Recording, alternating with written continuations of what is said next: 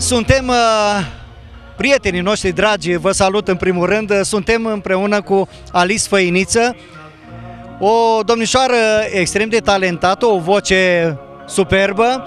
Dar uh, de ce am început așa? Pentru că vreau să ne amintim, erai mică la un moment dat. Nu, ai fost și tu mică. Am fost, Acum. am fost și eu mică. Uh, și Alice a venit împreună cu tăticul ei uh, la noi, la Electrostar, la casa de producție Electrostar. Câți ani aveai atunci? Îți mai aduce aminte? Aveam vreo șapte anișori, cam așa cred că aveam. Eram mică.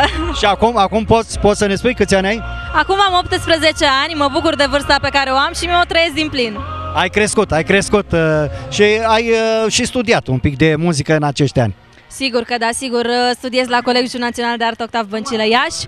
Studiez cu doamna Stoleriu de la București, care a pregătit-o și pe Felicia Filip. Studiez și cu Cezar Oatu și să, sper să se vadă. Deci pregătire în continuare, nu doar spectacole, pentru că ai avut uh, un spectacol uh, extraordinar, spunem noi, noi ne-am ascuns în uh, public, uh, de altfel uh, acest spectacol continuă, uh, de, tu ai încălzit atmosfera până în momentul în care a venit uh, Marcel Pavel, chiar Marcel Pavel a spus în această seară, îl citez așa din memorie, că uh, există o legătură între voi, așa, în primul rând, ca stil muzical.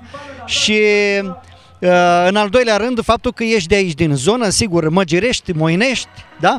Uh, Te simți acasă, da? Da, mă simt și mă bucur atât de mult că am revenit acasă să cânt, încât mi se umple sufletul de bucurie să, să cânt din nou acasă. În ultima vreme, noi, uh, televiziunea exclusiv, te-am urmărit la mai multe spectacole, ne-am întâlnit, au văzut telespectatorii noștri și la Slănic Moldova și în alte localități. Uh, Cred că te bucuri că ești chemată la toate aceste manifestări. Mă bucur, mă bucur din tot sufletul că munca mea și tot ceea ce depun la un moment dat este și răsplătită și începe să fie răsplătită. câteva cuvinte despre familia ta, dacă părinții au agreiat uh, ceea ce faci tu, uh, câteva lucruri așa mai personale pentru uh, băieții care urmăresc uh, emisiunea noastră, da? Părinții, ce pot să spun despre părinți? Sunt, pur și simplu, sunt viața mea, fiindcă ei uh, tot timpul au fost alături de mine, m-au susținut uh, cu tot ceea ce am avut nevoie și cu sfaturi și din punct de vedere financiar, că este foarte important, cu orice. Deci ei sunt, uh, sunt totul pentru mine la momentul acesta. Da, uh, spuneam pentru băieții care urmăresc uh, de vârsta ta, uh, ce pasiune ai în afară de muzică? În afară de muzică, păi uh, cânt și la pian tot legat de asta, ceea ce nu cred că știe multă lume. Pasiuni, îmi place foarte mult să, să not, să stau în aer liber, mai ales că eu că atunci când uh, studiez stau închisă într-o cameră și cu un pian. Îmi place foarte mult să evadez așa în aer liber și să, să mă plimb, să mă relaxez. Ce planuri de viitor ai? Hai să spunem în perioada imediat următoare. În perioada ur- imediat următoare trebuie să îmi dau bacalaureatul, admiterea, Ai, urmează... ai studiat? Te-ai pregătit? M-am pregătit, sincer să fiu, m-am pregătit de pe acum.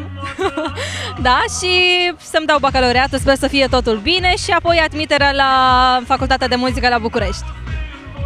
Să înțelegem că în continuare uh, vrei să te pregătești, uh, chiar dacă ai succes și la această vârstă, uh, dorești să te perfecționezi. Uh, Un mesaj pentru telespectatorii exclusiv TV. Uh, Vă iubesc din tot sufletul, vă mulțumesc că îmi sunteți alături mereu, vă mulțumesc și dumneavoastră și vă iubesc, vă iubesc din toată inima. Mulțumesc!